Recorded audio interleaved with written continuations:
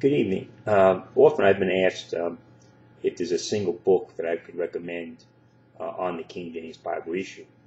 And uh, frankly, I've been at a loss to do so. Uh, the very, there's so many good ones on the issue, uh, but they approach it from different uh, uh, angles. there are many that defend the right text, the received text, there are many that defend the King James Bible, its authority, its influence, its beauty, its power, um, and even uh, the English words, uh, as Gail Riplinger has done in a number of her works, and uh, uh some other authors as well. But I'm happy to say that I finally found one book that if uh, you only have to have one book in, in your library on the King James Bible issue, uh, this would be it. The certainty of the words. you can get this for $25.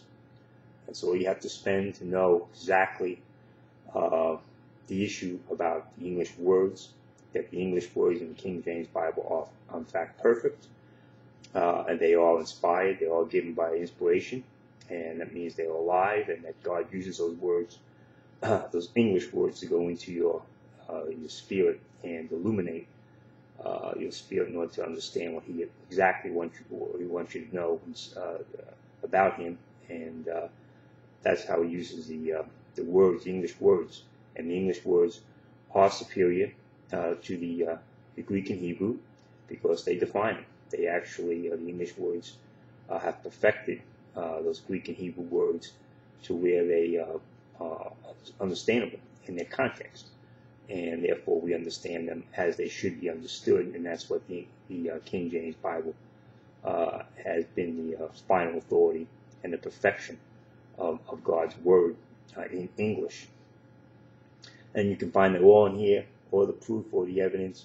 Uh, the uh, he, he, explains the attacks from uh, many of those who are from the Textus Receptus group who still want to cling to uh, the received text uh, in the Greek and Hebrew and and claim, claim on one hand that they don't correct the King James Bible when in fact of course they do because they're making an appeal to another authority and uh, therefore they'll they'll change it change the meanings of the words uh, when they do so. I mean, if you don't, if you don't, if you're saying the King James Bible is perfect, and uh, you're not using the Greek and Hebrew to uh, correct it, then why are you using the Greek and Hebrew? You don't need it. That's why there's been such a reaction to Riplinger's work on hazardous materials when she said you don't need these lexicons and these uh, uh, concordances. Uh, the back of the concordances. Concordance is a very valuable instrument. Strong's Concordance, where you find the English words listed, it's very valuable, but you don't need the, the back of it with the dictionaries, which uh, Strong uh, was using the uh, uh, false Greek texts in order to define those English and Greek Hebrew words, and the Hebrew and Greek words into English. But this book here clarifies all that. you can get this from uh, Daystar Publishing, uh, and uh, it's $25. Uh, it's the only work you'll need. It explains the whole issue of the King James Bible, the issue of the the perfection of the English uh, text, uh, why that this is it. This you don't need any other words besides the the King James Bible and refer to the Greek and Hebrew. The author himself here is a, a graduate from um, Pensacola, Pensacola Bible Institute, and so he has uh, is a master's in in from uh, let's see uh, started Bible Bible believing church. He still passes Blessed Hope Baptist Church in, in uh, Minneapolis uh, area as a pastor, and he earned his Master of Theology degree from PBI in 2011. This is uh, a large book, it's 800 pages, but I said it's the only book you're going to need, and it's very uh, easily read. It's a very quick read, uh, and uh, he's, he's an excellent writer and very clear.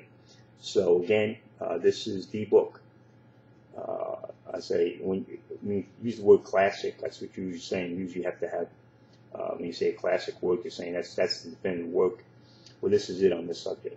This is it. He's combined all the best ideas from uh, from Gipp and and Riplinger and Ruckman and uh, all the others, uh, Grady, uh, and uh, combined them and pulled them together into one uh, uh, complete work. And with this work here, if, if you're not interested in reading other works, which are you know those excellent works and should be read, uh, any any Bible reader should read them, use them, and and digest them. But if you just don't uh, want to you know, get too deep into the subject. It's understandable. Uh, then all you need to do is have one book in order to really get the uh, the understanding and, and the the grasp the uh, importance of the English words uh, in the King James Bible, and therefore, and you only spend uh, uh, twenty five dollars to do so. You don't have to get a whole vast library. And this is not to say you shouldn't read these other books. Um, you know, I believe you should, but if you don't want to, that's understandable because the only thing is important is to establish your faith in the King James Bible, and this book will do it. That's the key issue.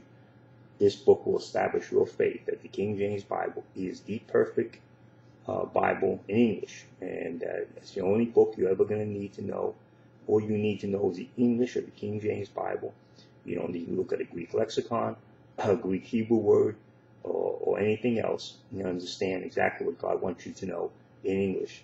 So uh, if uh, the question about uh, is there one book in order to uh, that you would uh, that I would recommend uh, in order to understand the King James issue, King James Bible issue, and the final authority of the King James Bible, this is it. Certainty of the words by Kyle, Kyle, Kyle Stephens.